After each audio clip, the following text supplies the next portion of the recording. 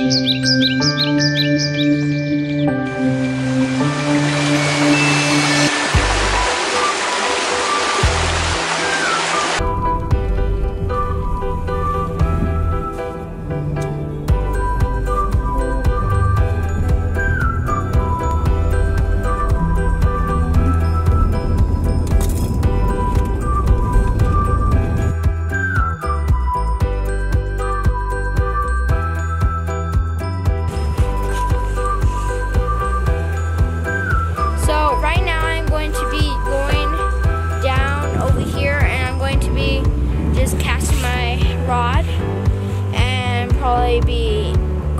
over there where I'm going to be sleeping.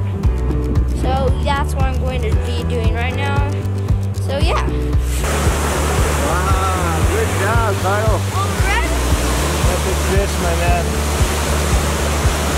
So one thing you always want to know is now is really important.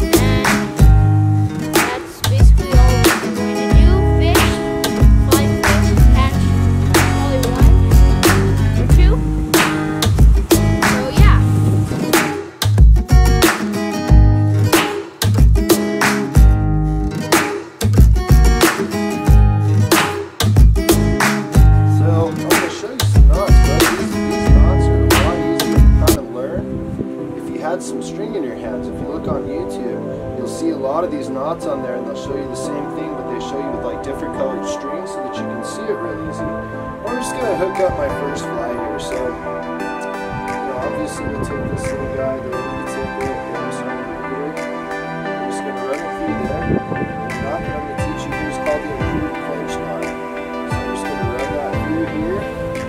So let's do the eye of the hook.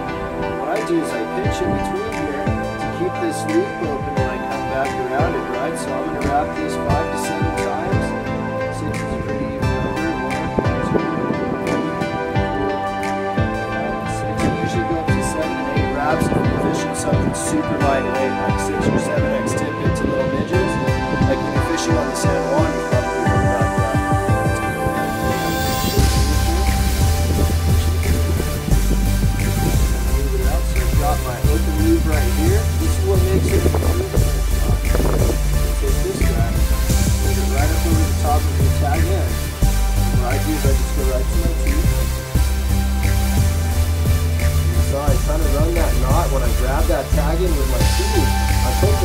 the knot just on the inside of my lips. You don't really have to put on anything. You just want to tie a wet knot. The reason for that is when you go down to cinch this knot, it creates an immense amount of heat on this fluorocarbon. So when you cinch it down, a lot of the times I'll give it, I'll give it one of these before you're done, just to make sure that you've got a nice wet knot down there and you don't have any weak point. You don't have to really turn tug on it, just a little bit. Because if it's going to break, it'll break down my hand instead of on a fish, which is good. Test your knots before fish. Cross like this. Way you got feet where you can move them back and forth like this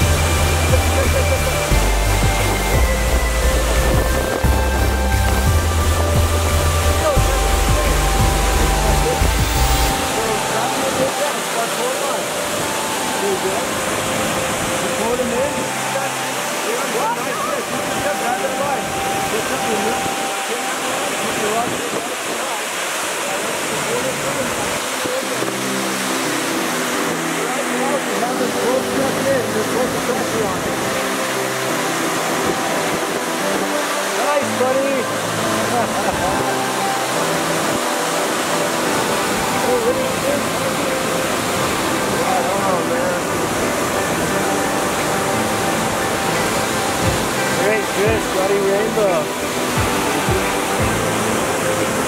Wow, good job, Kyle. That's a fish, my man. So one thing you always want to know with cow is really important to fish inside it, right? That slime is a protective coating and it'll keep them healthy from bacteria in the water. So before you touch your fish, even if you get your hands wet, you can tap them on the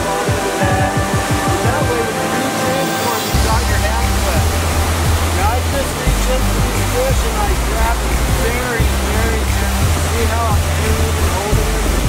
He's nice and long. You see that line going down the side there? That line is that, that line is called a That's a rainbow trout, yeah. That line going down the side is called a battery line. That's that's a. Just, just barely cradle it. It'll hold still. You can use both your hands too if you want. Go. get a bit. Pretty cool. Alright. Go ahead and hold your fly rod. We'll get a picture a like this. When you go to release it, man, nice and gentle, I just hold it back into the water. I like to hold them upstream, give them a second to kind of breathe. See how he popped out to life there? Good job, man. You did a great job.